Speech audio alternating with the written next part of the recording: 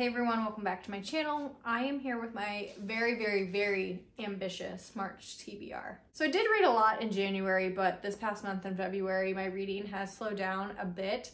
But I have a lot of things that I'm like in the middle of and I want to get through those. And then I have a lot of arcs and just, I, I feel the mood coming back, but I also have a lot of other things on my plate right now. But let's just get into the TBR. Firstly, let's talk about the books that I'm in the middle of, kind of. I've very slowly been rereading Notes on an Execution.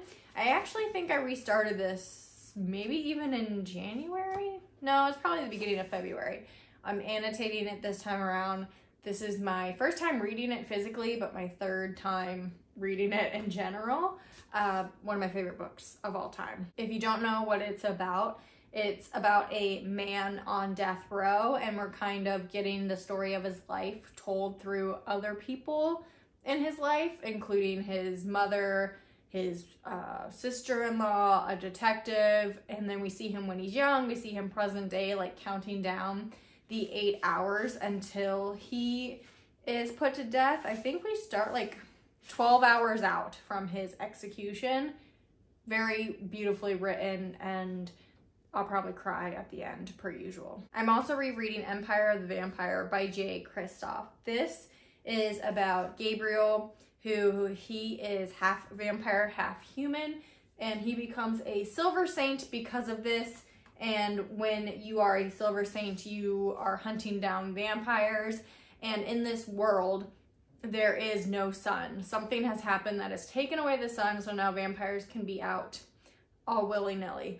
Um, and so people are trying to hunt them down. And then he's also kind of pulled into this quest to find the grail, which is thought to be the answer to getting like daylight back and being able to battle the vampires.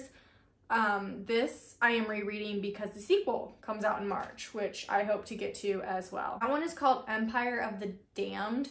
It comes out, I don't know, maybe mid-month. Either way, I will hopefully at least start it in March. I also am reading Children of Time by Adrian Tchaikovsky. Um, I've had this one on my radar for a while, and apparently I have fully accepted the fact that I am no longer like anti-sci-fi. If you've been around my channel for a while, I feel like science fiction was always the genre that I was like, ah, I'm unsure about, or I don't like, or I prefer not to read but that's totally changing and I like science fiction movies like Star Wars, things of that sort, and I like space horror. Gideon and the Locked Tomb series, one of my favorite series of all time. So I'm just accepting my love of sci-fi now. This is set way in the future, and in the very beginning so far, all I've read is that scientists have created this virus that's going to allow for evolution to rapidly take place. And they shoot it off into space with these monkeys, but it turns out it's gonna end up with some spiders. And I don't know, we got like one little section point of view from this like baby jumping spider and like I it was just gross. Spiders are not my thing.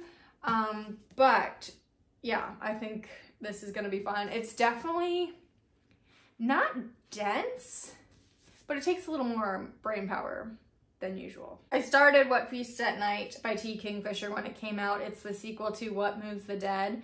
Um, and then as soon as I started this, that's like when my my reading slumpiness started. My reading started to slow down. I was just distracted by podcasts and other things like that, life. So I should be able to finish this. I mean, it's so short. I've already started it. I'm 30 pages in. I'm going to enjoy it. I know I am. Another new release that I thought I would get to in February, Eynhallow by Tim McGregor. This is like a Frankenstein retelling kind of thing. It takes place in the 1700s.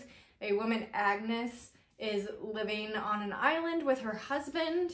Uh, and then a stranger comes to town and I don't know if he is like a scientist or something, um, but I, I think there's some kind of relationship or like working for the scientist as his like housekeeper leads her to explore new ways of living. I'm also reading Wounds, Six Stories from the Border of Hell by Nathan Ballingrud. This is a collection of six stories all about hell or people in hell, things associated with hell. Um, but so far, I am absolutely loving this, and of course, we'll report back. And if it continues going how it's going, it'll probably be one of my favorites of the year. It's reminding me a lot of Your House is on Fire, Your Children Are All Gone by Stefan Kiesbye, and that's one of my favorite books of all time. I've got a couple arcs that I should read as well. Um, I don't know if I'll get this one done in time. It comes out March 5th, but it's The Haunting of Velkwood by Gwendolyn Kiste.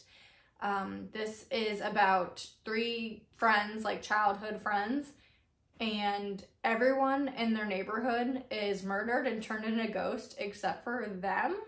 And then I think maybe later on they try to figure out what happened. It sounds really weird, but I know that um, I've read Gwendolyn Kiste before, The Rust Maidens, and I really liked that one, and it was weird. Um, but so I'm looking forward to this one, and hopefully I'll get it done in time. Probably not, but I'll be sure to update you. I also have Colossus by Ryan Leslie. This is um, another like sci-fi horror. It's about an economics professor whose girlfriend takes a drug and it kills you but like right before you die it like answers all your questions or reveals the reality of things. I don't know. It sounds kind of wild. But the professor decides to join a mission in space um, where he's trying to figure out answers to like why she took this drug, what this drug does, and like what she found out. Um, and then the mission that he goes on like turns out to be not what he thought it was. We'll cover sounded cool sci-fi horror. Like I said, we're entering my sci-fi era essentially. Also have an arc of Ghost Station by S.A. Barnes, another sci-fi horror. I hope I don't burn myself out on these.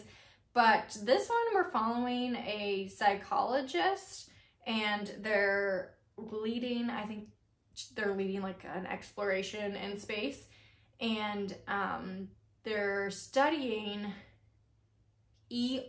I don't know what that stands for, but it is a space-based condition most famous for a case that resulted in the brutal murders of 29 people. So she's assigned to this crew to go on this mission and learn and study this and try to prevent it and then maybe history repeats itself. I don't know. It sounds cool and again, sci-fi. I've got two more books, new releases. The first one, Murder Road by Simone St. James. It says a young couple finds themselves haunted by a string of gruesome murders committed along an old deserted road in this terrifying new novel. It takes place in 1995. Um, I don't know if there's going to be like a jump between 1995 and like present day. Simone St. James does that a lot. Um, but it is about a couple. They take a wrong turn. They're looking for a small resort town where they're going for their honeymoon. And then they find a hitchhiker, stop to help, and then um, the hitchhiker ends up dying, has a wound when they pick her up. So, yeah, I love Simone St. James. I'm looking forward to this one. I'm not sure if I'll listen to it, or I'm kind of waiting to see what Book of the Month and Aardvark present to us. Um, maybe it'll be a selection for one of those boxes. Um, but usually the audiobooks for her stuff is good as well. That one comes out the 5th, I think. Yes, March 5th. Also March 5th, which is kind of like a top priority for me, is Tana French's new novel of The Hunter. So this is like the second book. Um, the first book was The Searcher. We're following Cal Hooper. He is a retired Chicago um, police officer or detective. He moved to rural Ireland, uh, kind of like just looking for a peaceful life. In The Searcher, he ends up getting involved in a case and helping and then this one, it appears to be, again, he's getting involved in a case. Um, he's built a relationship with one of the local women. He's just building a new life for himself post work and moving to Ireland. It says that it's a story that it kind of has to do with revenge and what we'll do for our loved ones and what we have to sacrifice for those two things. And it's Tana French, so I guarantee I'm gonna like it and it's gonna be beautifully written and I am very, very excited. So I think that's it for my March TBR. Extremely ambitious, so hopefully I get something read. Let me know what you plan on reading in March, if there's any new releases you're looking forward to. Let me know if you've read any of these books and what you thought of them. And I will see you in my next video.